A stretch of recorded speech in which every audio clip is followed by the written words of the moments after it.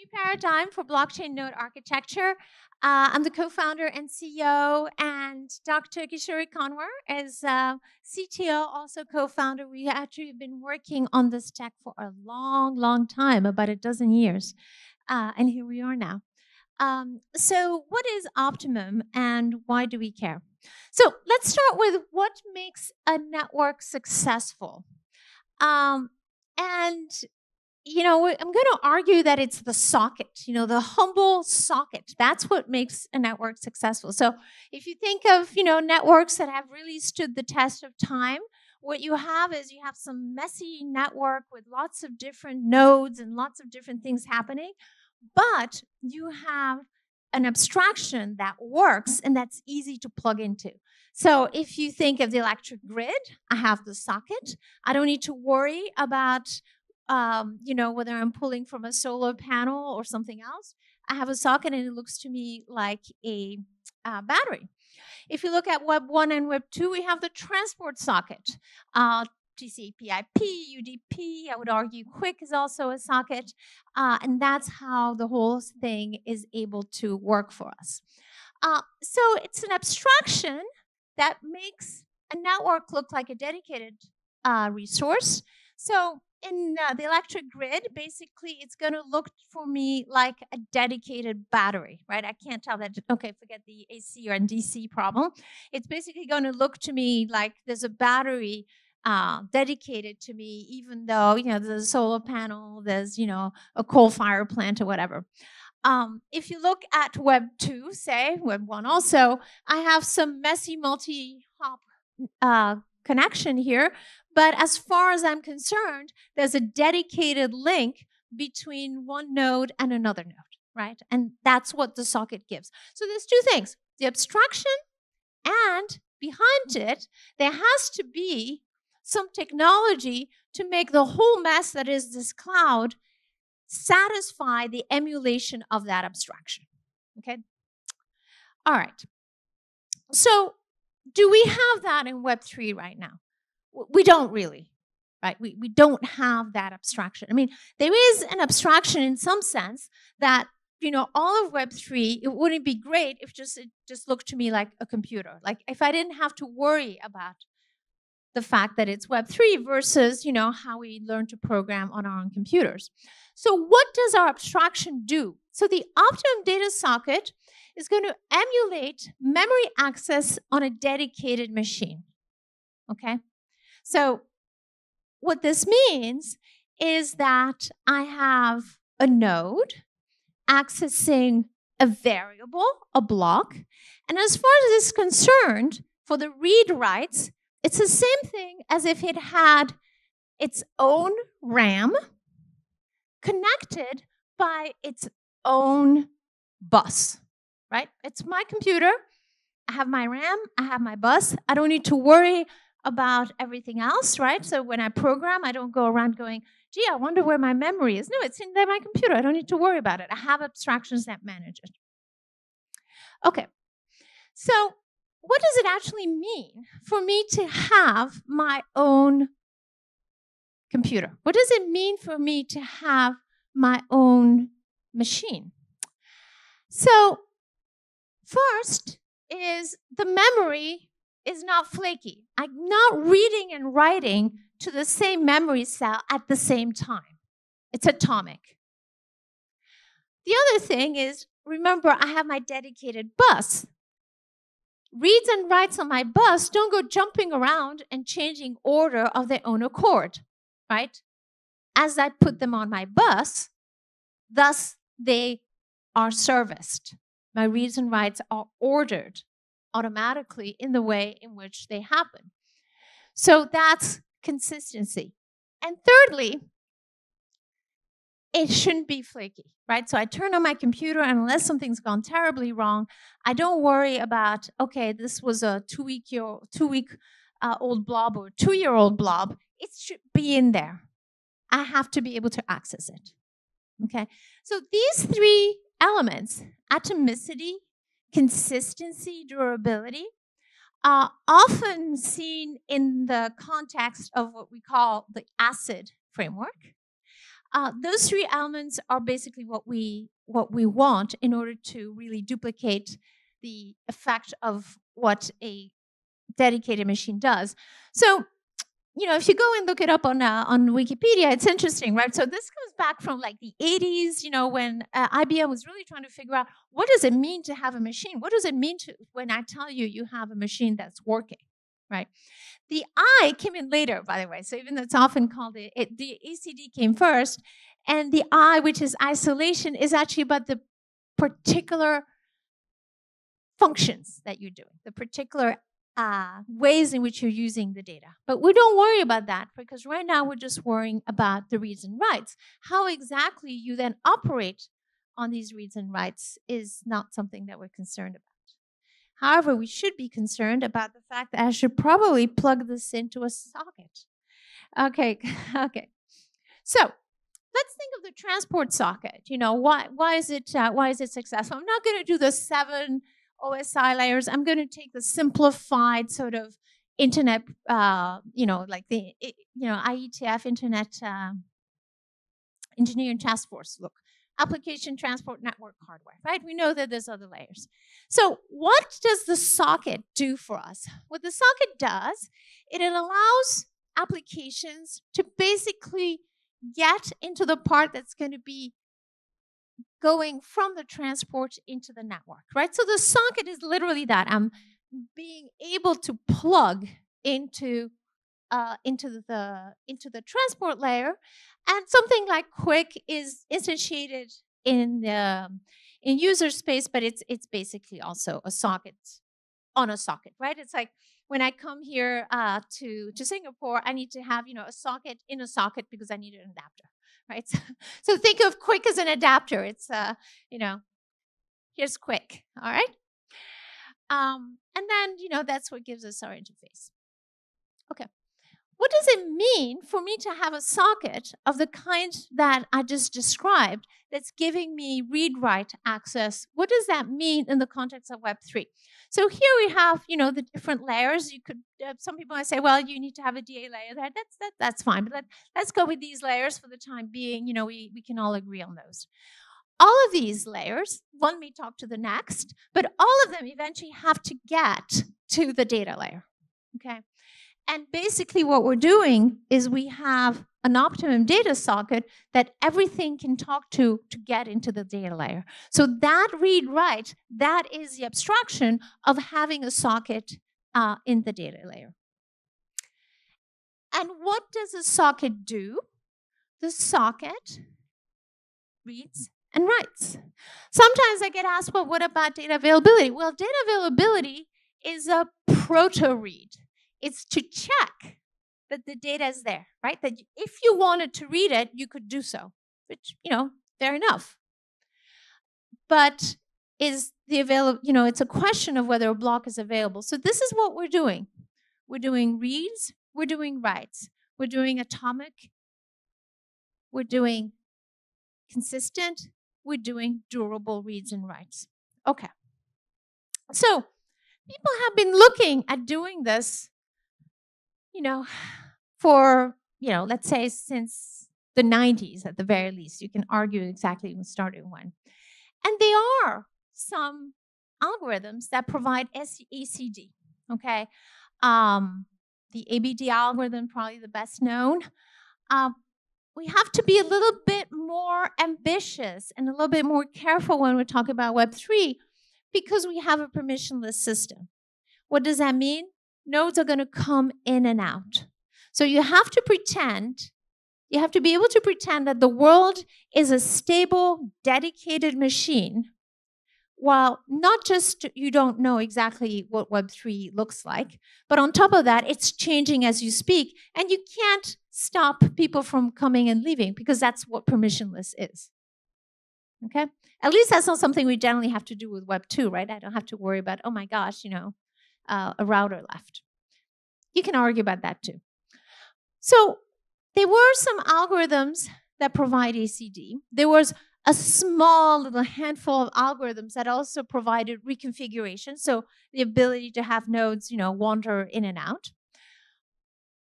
The problem there is cost. You know, algorithms like if you're in the, the area like Rambo and so on. Those algorithms were all based on replication with huge memory cost, huge bandwidth cost, a whole lot of communicating back and forth, getting consensus, and a huge amount of delay from that back and forth in order to keep state. So, what are we going to do? We want the ACD, we want the reconfiguration, but we don't want to have this sort of overhead. When we started working on this uh, with Nancy Lynch um, and Kishori about a dozen years ago, the rationale was the following. We wanted to have something that was worst case guaranteeable, that had all of the guarantees of something like Rambo, of true ACD, but that in the average case was not going to be too expensive. Right? Most of the systems out there in the distributed systems, you know, everything's proven perfectly, pen and paper, great for worst case, but then you're always operating like it's the worst case. Right? So you're designed for the best worst case and you operate for the worst case, even when the worst case doesn't happen that often. So what we want is something which has all the guarantees of worst case, but on average is cheap. So how can I keep those guarantees on average be cheap? You have to use coding. And you can't just use any coding, we'll talk algebraic coding, because this permissionless system, basically that reconfiguration, I'll show you that in a second, means that as nodes are coming in and out, I'm not going to have some sort of master node from which everything comes. So I need to use coding to make optimum use of storage, optimum use of bandwidth, but and remove state dependency, but I need to have a coding scheme which will be able to perpetually code upon codes upon codes, sort of perpetually uh, keep itself going uh, in a completely, completely decentralized way. And that's the other thing, right? Normally, if you think of coding, you think of structured codes. Here, if I'm going to truly be completely reconfigurable, completely decentralized, my algorithm for coding will also need to be completely distributed and decentralized. So just you know high level and for, uh, apologies for many of you who I know are very familiar in the in uh, in the audience. So what's the difference between sh uh, sharding and coding? So sharding, you take the data, you chop it up, into different pieces, P1 through P5, and then you have to reassemble it, okay? And two P1s do not substitute themselves for missing P2. So you get into the problem that we often describe as, you know, the coupon collector problem, where you're going around looking for the last thing, or the straggler problem, and that's what's really dominating your delay. It's not you know, getting the first piece, you get the first piece very quickly, but then it's, you know, finding the last missing piece. What we do with coding is we do algebraic mixtures, which is you know what these what these little mosaics are trying to look like. And what's unique to random linear network coding is that you can actually take mixtures of mixtures. You don't need to start from the original data. You can take mixtures of mixtures and create valid mixtures by working in effect over large enough finite fields where the, the, the field has enough um, elements, has enough cardinality. And in that case, with very high probability, if I take, if I have five pieces that I need to reconstruct, any five mixtures will do. So these five mixtures are congruent to the original data. Okay, and it's very, very easy to reconstruct. It's highly parallelizable because it's in effect just doing Gauss-Jordan elimination. Okay, so what does that mean with respect to actually being able to run a network. Remember, what we wanted is the ACD worst case uh, reliability, which we basically have borrowed all of the techniques from that literature. But we also wanted to have something which was cheap and which was going to allow us to have a whole messy permissionless infrastructure that we could then rely on. So here's our idea in the optimum flex node. Here are the original pieces. Say here I'm having eight pieces rather than uh, the five that I showed you before. I want to reconstruct them. I just go to different flex nodes. So down here in the middle, I have my flex nodes. And these C's here are just these combinations, those little mosaics that we showed before. So I have C1 through C8, they're just linear combinations. I call upon whatever nodes are available, whichever ones can respond most, quick, most quickly. I do that in a perfectly uh, distributed and completely decentralized, not distributed, actually fully decentralized and completely uh, on the fly manner. So this is totally opportunistic. Once I get my eight pieces, remember, as long as I have enough pieces, I have the data and I can reconstruct the original data. This is very fast. We're talking order of milliseconds. Now, what happens when, because I have a permissionless system, a new node comes on and I need to spin up? I need to spin up a new node. Well, remember that composability of RLNC, which other codes don't have. I cannot take a Reed-Solomon code, take a few pieces of it, encode it, and get another piece that's a Reed-Solomon code piece. That's not how it works. I have to always start from the beginning. Right? So this is the only composable code. So you can see the lower cost because these nodes are very flexible, right? Some of them have three equations, some of them two equations whatever they can have, that's great. You can see the retrievability because I read fast. You know, I'm not looking for like a full node. I just read for whatever's available. So it's sort of automatically parallelizing in an optimal on the fly way. You can see the decentralization. And you can see that when I need a full node, I just ask at this uh, when I need a when I need a new flex node, I ask the other flex nodes, hey, just give me some equations. So what does this node do is creating a new equation out of whatever equations it has available. This node is creating a new equation out of whatever equations it has available. The total amount of bandwidth that's needed to spin up this node is minimum. It's just three units. And I cannot get by with less than three units, given that that node is going to store three units. What about our data availability, you may ask? Well, data availability is just sampling and checking whether, with a code, whether a node says has what it says it has. I can do the same thing. I can say, hey, what code do you say you have?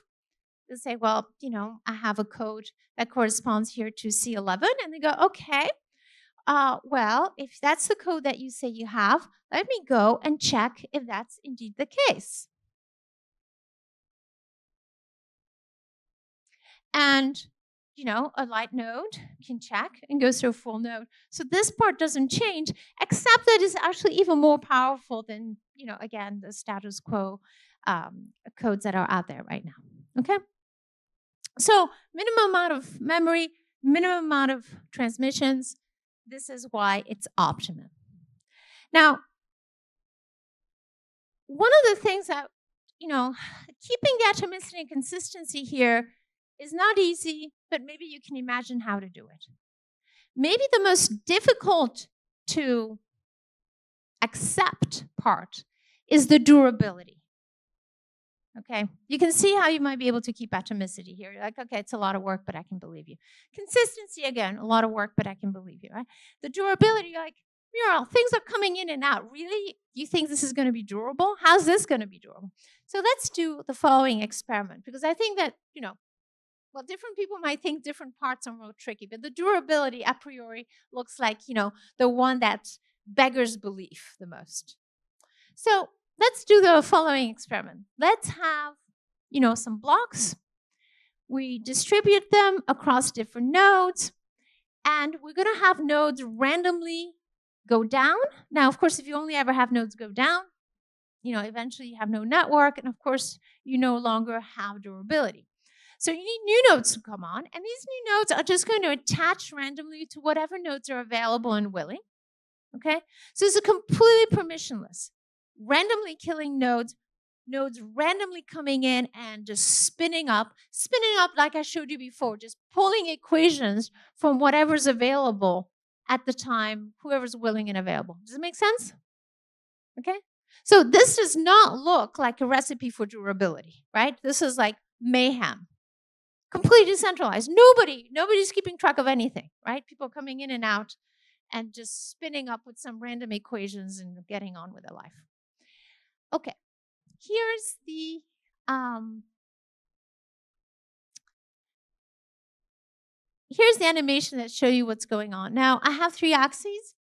On the x-axis, bandwidth, total bandwidth of connections. Remember, like we had a bandwidth of three before when we were pulling from three nodes.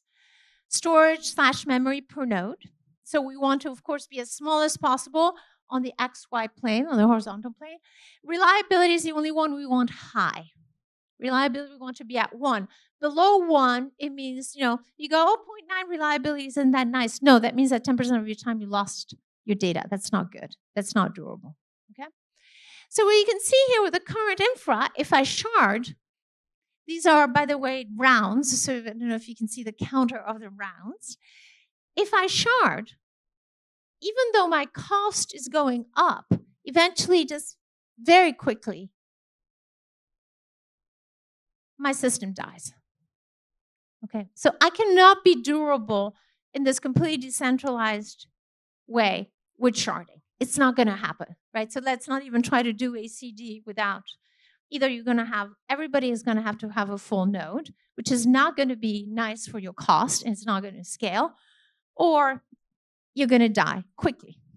Look, however, what's happened with Optimum. It's alive. So this completely, you know, chaotic, a priori, you know, looking like a recipe for disaster is actually durable. You can prove this, of course. You know, I'm just showing it to you here. You can prove it. Um, but you know, this is just one of the aspects that shows what we can do. Okay, so um, my half hour is almost up, and I want to leave a little bit of uh, time for for questions. So this is what we do. We're turning Web3 into a truly decentralized machine built on top of network coding. I showed you one aspect, which is the durability. Uh, you know, there are many other aspects around speeding up um, uh, consensus through coded uh, gossip, algebraic gossip, and so on. You know, not showing you the whole thing, but the point is, you know, something that looks a priori to be so completely decentralized and so completely ad hoc that you know it it, uh, it couldn't possibly work works not just well but optimally. So the optimum data socket ensures ACD. There could be other ways of ensuring ACD. We do it in a coding way, and the coding way allows us to have flex nodes, which are going to ensure optimum use of memory and bandwidth. Uh, and I'm very happy to announce that we just got our seed round, uh, led by 1KX. We have a wonderful, wonderful set of um, investors and also wonderful uh, angels. Uh, we've had a really, really good experience. And so here we are, and I'd uh, love to hear your questions.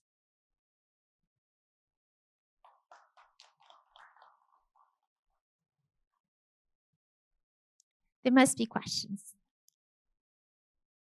Otherwise, I'll ask you questions. Any questions? No? It all made sense? There's a question. Yeah, there's a question. Good. Thank you.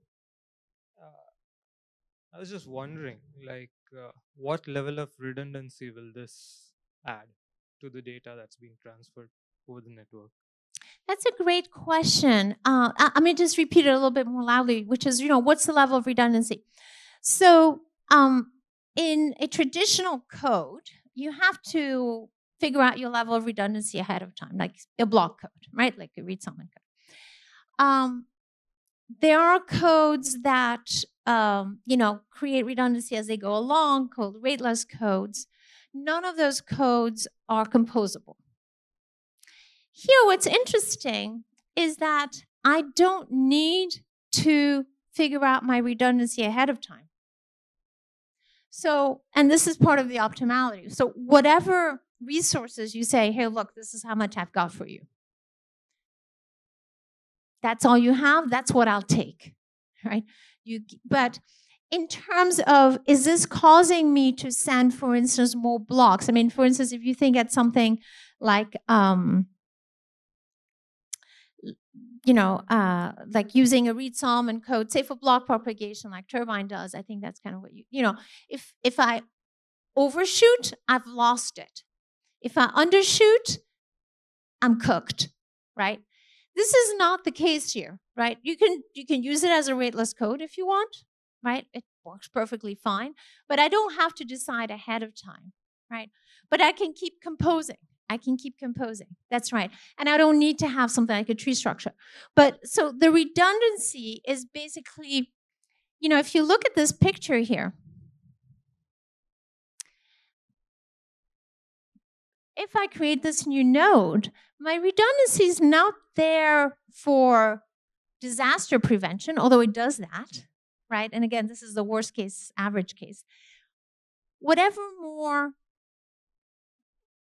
equations I have available, that will immediately create a much faster download, right? So basically, whatever you give me, I will make optimum use of. But I don't have to decide ahead of time. And I don't have to say, well, look, I'm sorry, you know, your code was whatever, you know, 114, 128, and, you know, that's it. And it's like, well, you know, you should have had a 110 one for 28 and you didn't so tough noogies right? Uh, or else you know like i gave you a 114 128 and you know nothing went wrong. Well i'm sorry you know you paid for it up front and, and you're done with it. So that's a really good question. We, we don't need you know the, the redundancies com- and this is part of the flex node right? It's completely flexible. Whatever you've got i'll use.